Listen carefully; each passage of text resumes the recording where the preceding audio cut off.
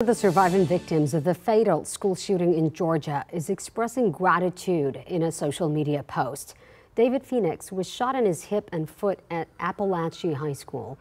A student says the math teacher was able to close the door before falling to the ground, protecting those inside the room from potentially getting shot.